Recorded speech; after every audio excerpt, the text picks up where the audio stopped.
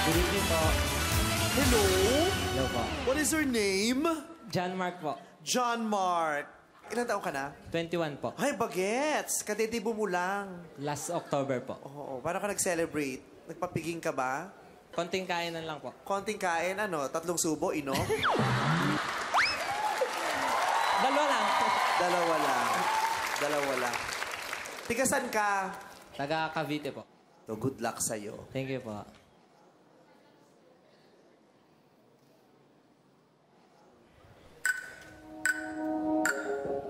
Parang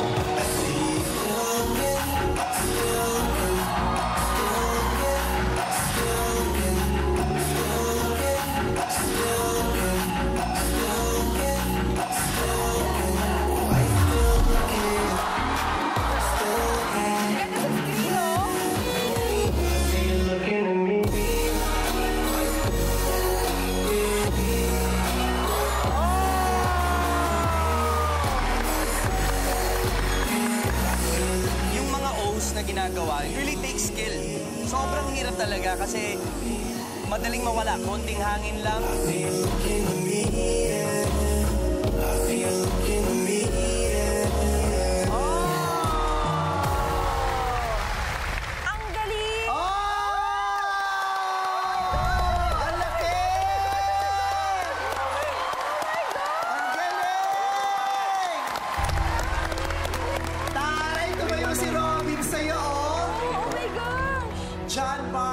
Mga hindi namin nakitang talento sa mga nakalipas na edisyon ng Pilipinas Got Talent dahil ngayon pa lang nauuso ang vape eh.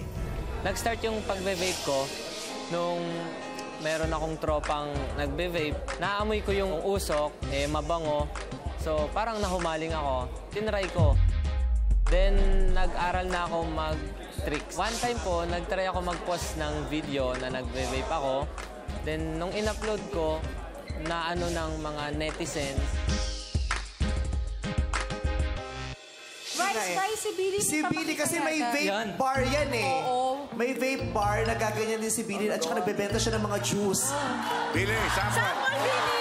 sample, sample. Pareho kayo mag-circle. pwede bang disclaim- disclaimer, mahirap po ang ginagawa niya kasi una sa lahat, kailangan talaga walang hangin. Oo. Kaya, tatry ko lang bro ah.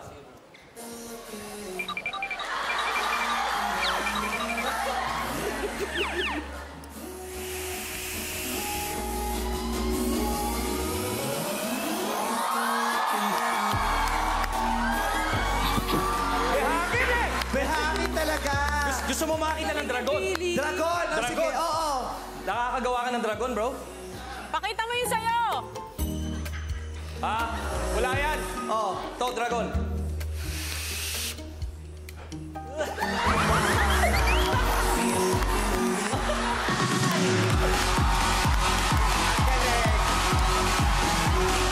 Kukontesta ka na golden buzzer kita, pero ulo mo ihahampas ko dito sa golden buzzer.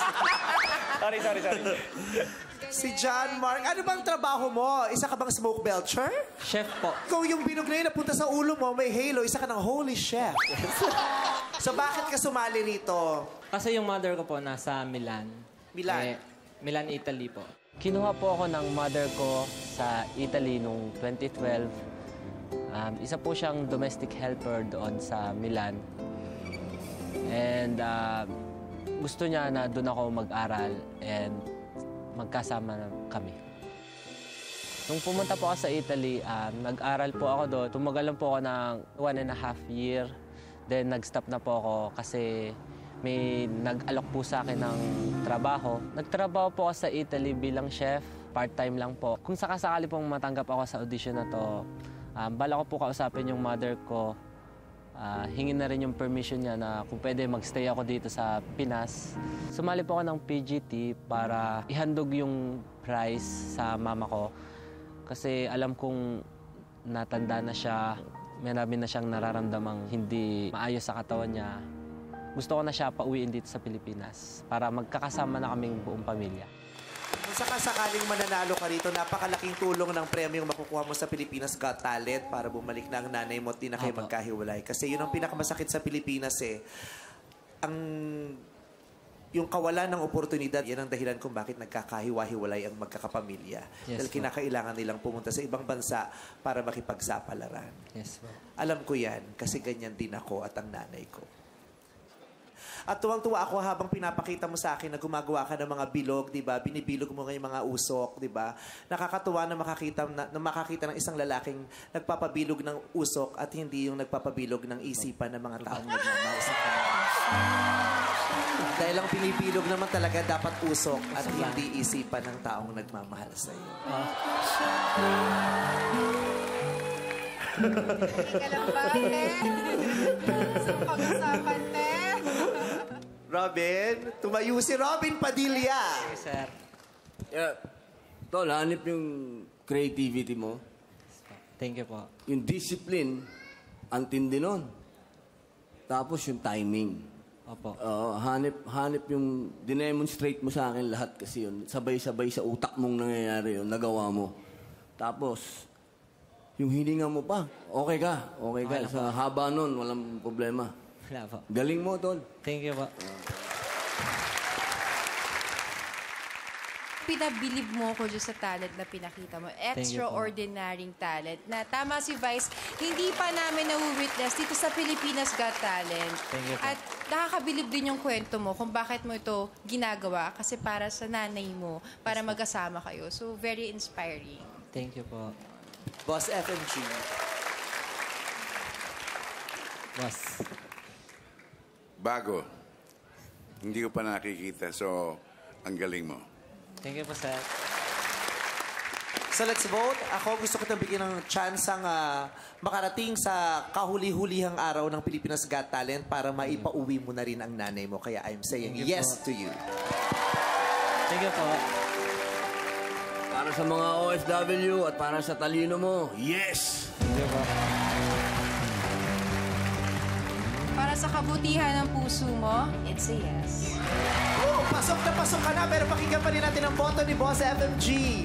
Para sa mga kapitenyo, yes. Oh, yes! Congratulations! Thank you po. Congratulations! Good job. Good job. Congratulations. We'll see you sa next round.